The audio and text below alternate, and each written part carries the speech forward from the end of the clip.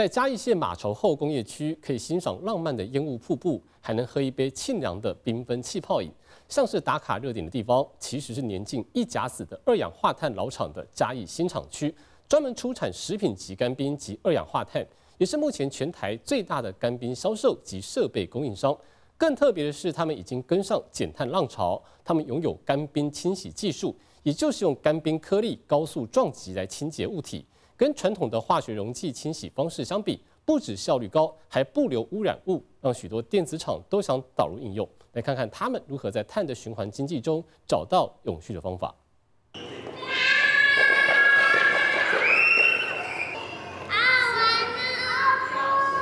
白烟弥漫，小朋友身处迷蒙世界，仿佛腾云驾雾。轻柔的云海瀑布是干冰带来的浪漫。我们箱子里面装的就是干冰，那我们用热水的方式让干冰升华的更快，烟雾效果就会越明显。接着玩一场冰上曲棍球，这里也有干冰的踪影。散状干冰被机器压得紧实，小朋友用白色小圆饼反复攻防。干冰就是固态的二氧化碳，而二氧化碳还有不同模样。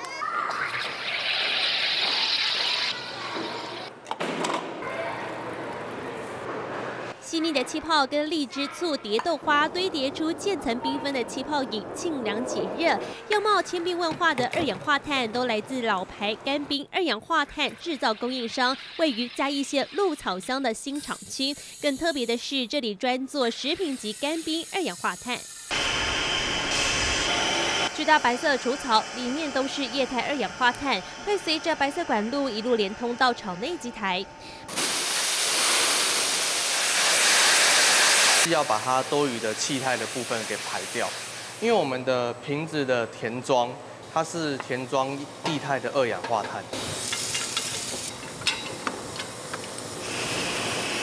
汽水为什么能拥有特殊刺激感？就靠灌进绿色钢瓶里的液态二氧化碳。汽水与液态二氧化碳混合成碳酸饮料，才会出现畅凉气泡感。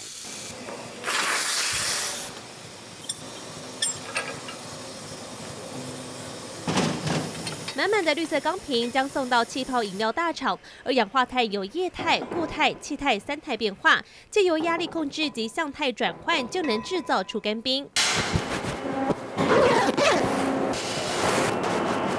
我们会穿无尘衣还有帽子，是因为我们这边的干冰是食品级的干冰，然后我们要避免我们人体从外面带进来的粉尘或是灰尘，被我们带进这间无尘室里面。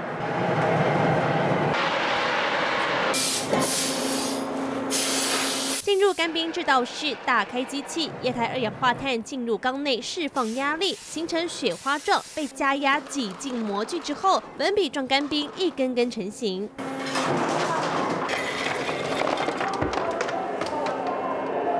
干冰低温零下七十八点五度 C，飘出阵阵白色烟雾，能直接加进饮料或供应给餐厅空储保鲜食物，也在疫情期间用来运送疫苗。干冰的这个过程，它其实是有置换比的。那传统的置换比相当的高，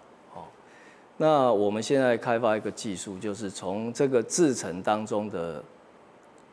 没办法转换成固态的这一些气态的二氧化碳逸散，我们把它捕捉下来，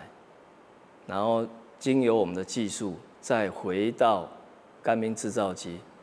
去生产成干冰，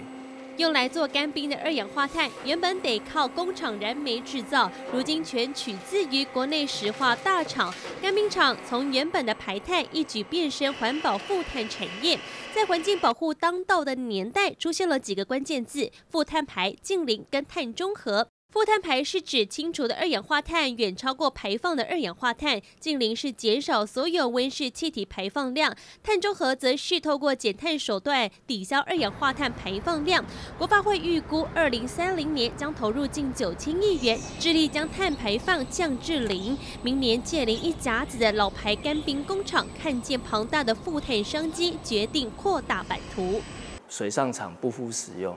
然后刚好。又有得知有这个马稠后工园区的规划，就购买了这个场地，然后把食品级的 CO2 把它分，自己先内部先把它分类，就以后供应食品厂商的客户的用的 CO2 或者是干冰，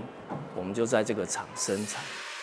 卫福部在二零二二年将二氧化碳列入食品添加物法规管理。在这之前，从嘉义县水上乡发机的老牌干冰工厂早已做足准备，进驻嘉义县马稠后工业园区，建立全新的生产基地，也打造全台湾第一个气体观光工厂。这些来这边嘉义设厂的这个工厂，大部分都是啊过去二三十年来，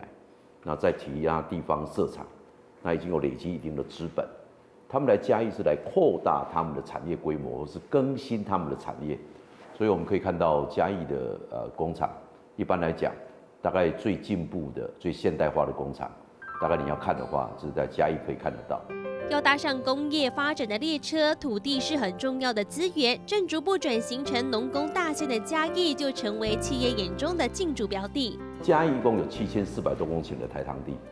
那我们现在用掉了大概一千零八公顷。那台湾在整个世界里面，在世界的产业链，一定有它不断的这种竞争力的提升，包括新的所谓的设备跟厂房的这种更新。那实际上，全台湾的土地是一个非常珍贵的这种资源。那很多中北部实际上已经都发展的差不多，而且呃中南部基本上还有很多土地是可以提供的。那嘉义刚好在这里面是可以扮演这样的一个角色。嘉义县由农业生产转变为农工并重，同时也跟上全球减碳浪潮，将温室气体、二氧化碳重新运用，反而能够帮助环保。